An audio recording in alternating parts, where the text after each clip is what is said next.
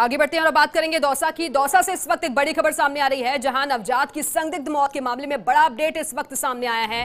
नवजात की माँ के खिलाफ हत्या का केस दर्ज हुआ है। ससुर अब्दुल मन्नान ने दर्ज कराई है रिपोर्ट और पानी के हौद में मिला था नवजात का शव।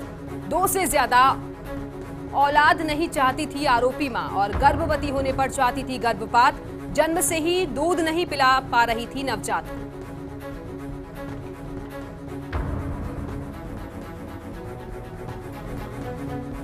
तो दौसा से बड़ी खबर, जहाँ नवजात की संदिग्ध मौत के मामले में बड़ा अपडेट सामने आ गया है। नवजात की माँ के खिलाफ हत्या का केस दर्ज हुआ है।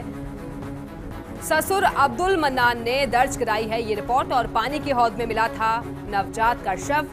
दो से ज़्यादा औलाद नहीं चाहती थी आरोपी माँ और उसी के खिलाफ अब हत्या का केस दर्ज हो गया है।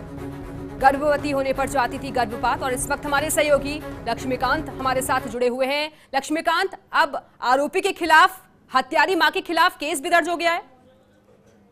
बिल्कुल, देखिए जो ये पूरी दिल दहला देने वाली जो वारदात है, काफ़ी संगीन वारदात है, इसमें जो परिवार जो है, उसने बिल्कुल साहस दिखाया है इस पूरे मामले में और अपराध को दबाने की जो कुचेष्टा हो, होती है आमतौर पर, वो नहीं होने दी।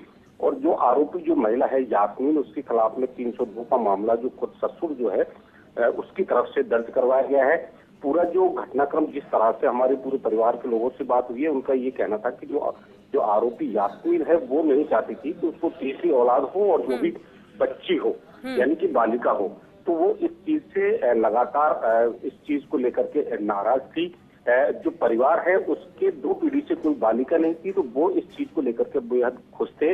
लेकिन जो उनकी खुशी है उसको पुत्रवधु ने एक तरह से कहे ग्रहण लगा दिया और बालिका को चोरी छुपे जो है पानी के जो गड्ढा जो बेसमेंट पे बना हुआ था उसमें डुबो करके और उसकी हत्या की है। और इस पूरे मामले में हत्या का मामला दर्ज करवा दिया गया है। ससुर की तरफ़ से जो है आरोपी बहू के खिलाफ मामला दर्ज दर्ज हुआ है।